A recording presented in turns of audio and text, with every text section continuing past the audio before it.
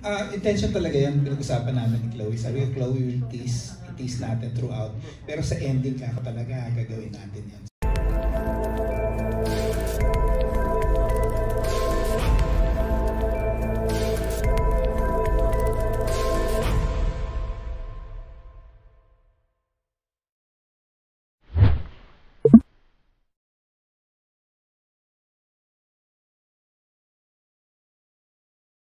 Ah, intention talaga yan, pinag-usapan namin ni Chloe. Sabi ko, Chloe, will tease, tease natin throughout. Pero sa ending ka talaga, gagawin natin yan. So pinag-usapan namin yun.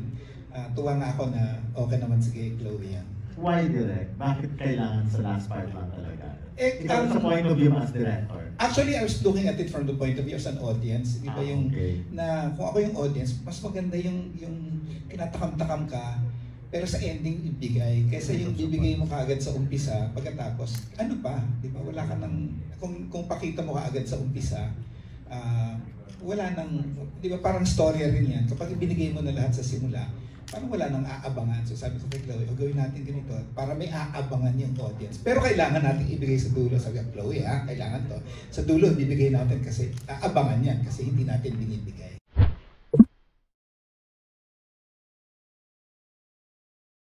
Kasi lahat kasi nung, nung eksena na yun, nung lahat ng sayaw-sayaw niya, sunod-sunod yon kaya parang Ah. mahaba. Kasi oo, isang set lang siya, palit-palit lang yung set.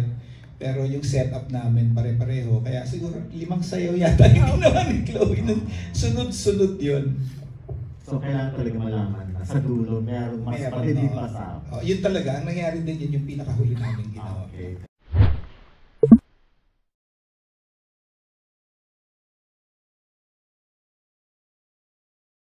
Nandito yung aking ah, producing partner, si Lun. Alam niya yung nangyari na sinulat yan.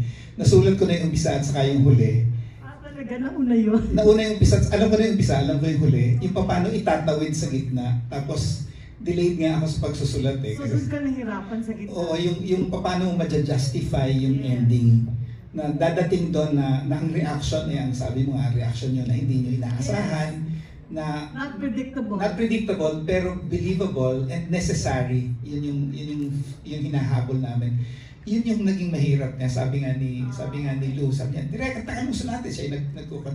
Sabi ko, oh, tapusin ko na yun in one month. Inabot ako ng two months. Inabot ako ng three months. Kasi sabi ko, ang hirap ng gitna, ang hirap ng gitna.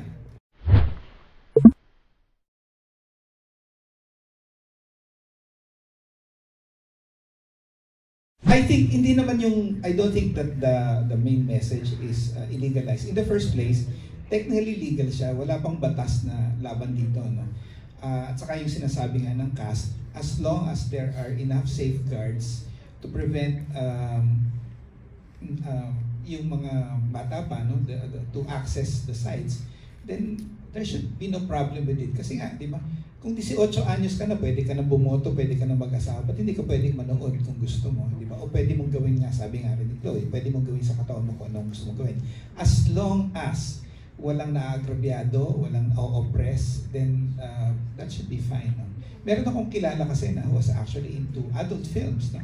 At sabi niya, choice niya yun kasi katawan niya, kasi nabi doon sa pelikula, ano bang gusto nila? Meron talagang may, may buga, may prostitution, may gusto pa na ganun ganun. Samantalang ito, it's it's the person, it's the creator directly choosing ano yung gusto niyang ipalabas, di ba? At anong gusto niyang ipakita.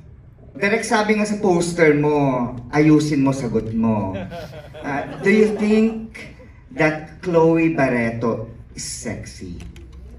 Yes, definitely. Bakit po siya ang naging, eh, naging, ah, ano tawag nito? Naging unanimous ba tawag doon sa English? Kasi bobo ako sa English eh. Siya ba yung naging, ano ninyo, direct? First choice. Ah, first choice na gumanap sa role niya? Ah, honestly, hindi. No? Kasi, di ba, alam mo naman sa Viva kung minsan would be uh, may, may decisions yung, Totoo po. yung production. Pero, ang, ang maganda dito, nung uh, binanggit sa amin yung pangalan ni Chloe, immediately I said yes. Uh, siguro serendipity, nagkaroon kami ng chance na magkita na ni Chloe before the film. So, nakita ko na siya in person. Kaya nung lumabas yung pangalan ni Chloe, sabi ko, yes! Ganun kagad kami. Yun na, wala nang, wala nang usap-usapan. Nagkita na kagad kami. Workshop kagad.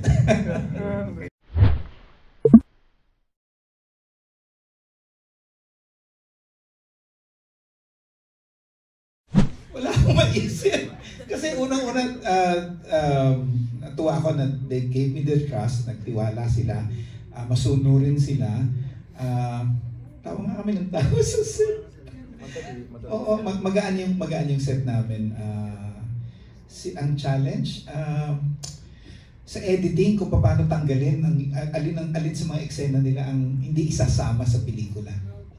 Yun, doon kami nahirapan kasi "Ba't tanggalin mo natin. Hindi maganda. Eh, eh, doon kami nahirapan kasi ang ganda ng, ng performances. Nakita niyo naman. Doon kami nahirapan. Alin ang itatapon namin? Meron pang mga siguro mga scenes o mga moments na ah, ma- mahaba na o yun, no, doon kami nahirapan.